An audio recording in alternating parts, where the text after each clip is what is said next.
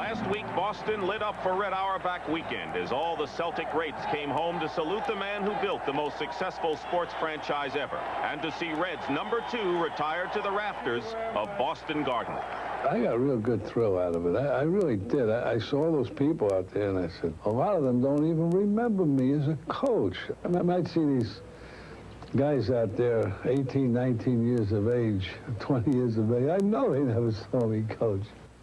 The next day, people did get to see Red Auerbach coach against his student, Bill Russell, as the legends of Celtic history took the floor once more in a charity game. That old Celtic style was unmistakable. At the buzzer, Red lit up his traditional victory cigar. One more time for